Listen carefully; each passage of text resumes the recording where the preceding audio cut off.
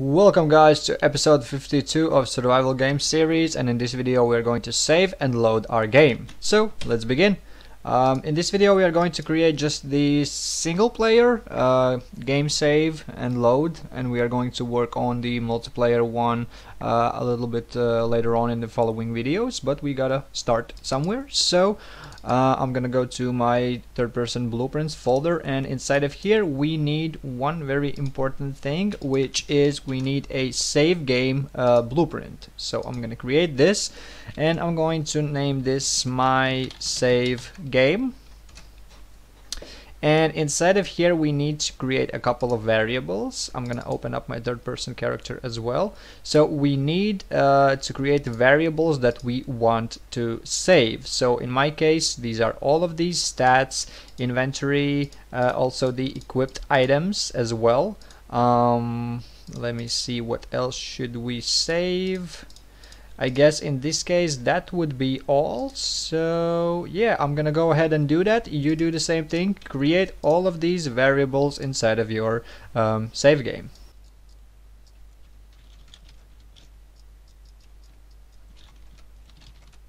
So now I've created all of my variables that I want to save. So I will compile and save the game save um, blueprint which is all done and um, the next thing what I will do is go to the third person character and we need to figure out a point uh, uh, how and when we are going to save our game. So that might be in all kinds of different different situations. But as of right now I'm going to create this on keyboard button 1 so I will create a keyboard keyboard 1 event like so. And what we are going to do is check if this character has authority. If you are making a single player game you don't need this node because we don't uh, want to allow our um, client to be able to save the game. I want only the server to be saving the world so I need this node. Uh, otherwise you just can skip this. And then from the authority we are going to create the save game object. And we need to select our uh, my save game in my case. And the next thing what we should do is start um, saving these variables so what we need to do is get all of these variables. So we need to set inventory and all the other ones.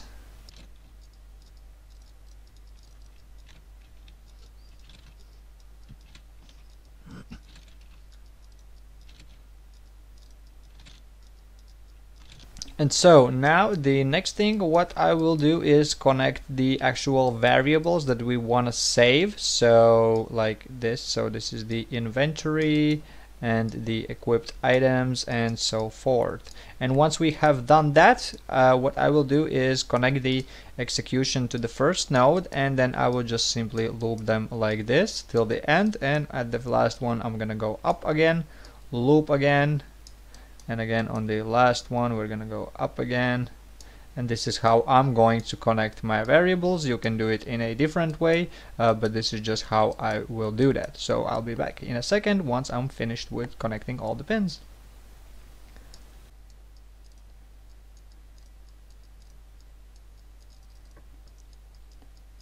So this is how my mess will look like. Uh, looks like a big chaos, but well, we're gonna work with this and then once we have uh, saved all of these then from the last one what we are going to do is save game to slot.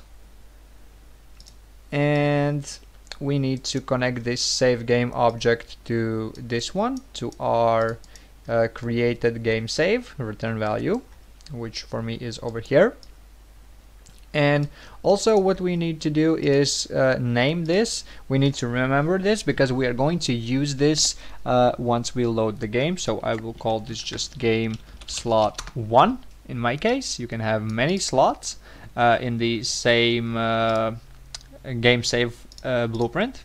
So we're going to save this. And this is all that we need to do to save the game. So basically we create the uh, object which is our game save.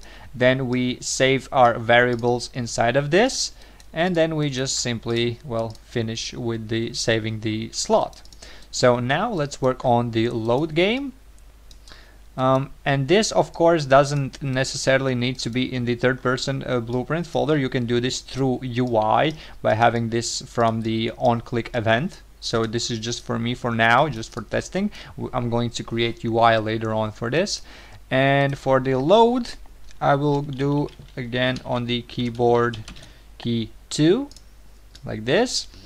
And what we are going to do is load game from slot. And now we need to type in our slot which was game slot 1 and then we are going to from this return value we can cast to our save file.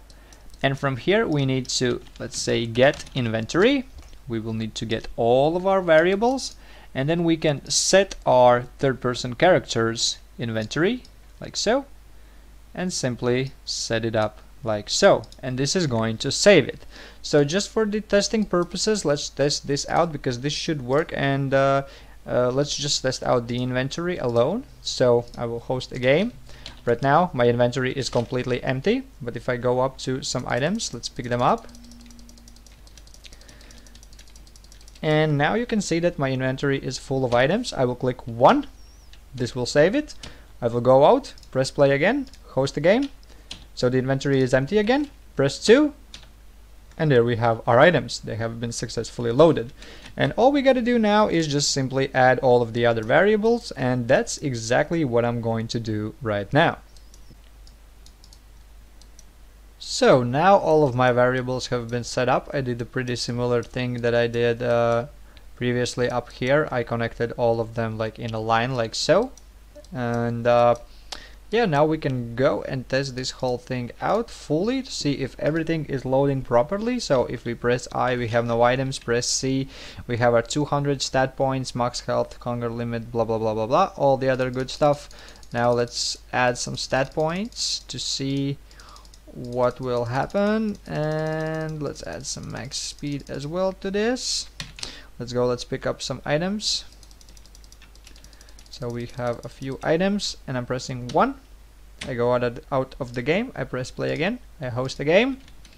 And when I press 2 yes you can see my stats went down. Um, my items are back.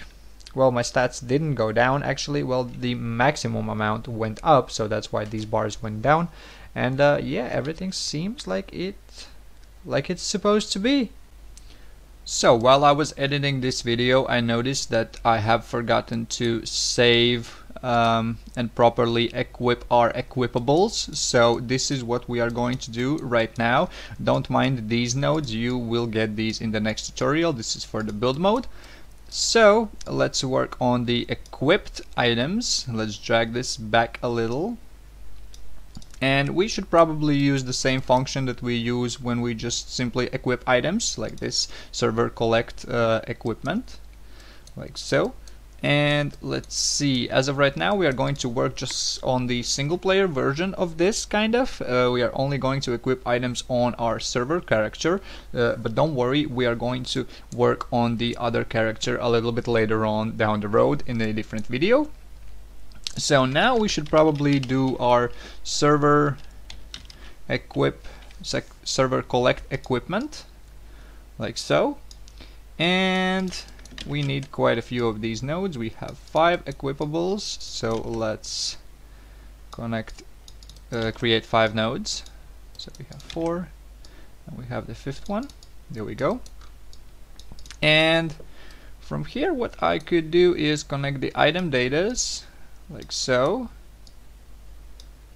Like so. Whoops. Item data. Item data.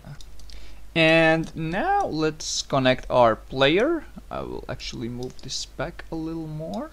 And for the player I'm just going to use a simple reference to ourselves.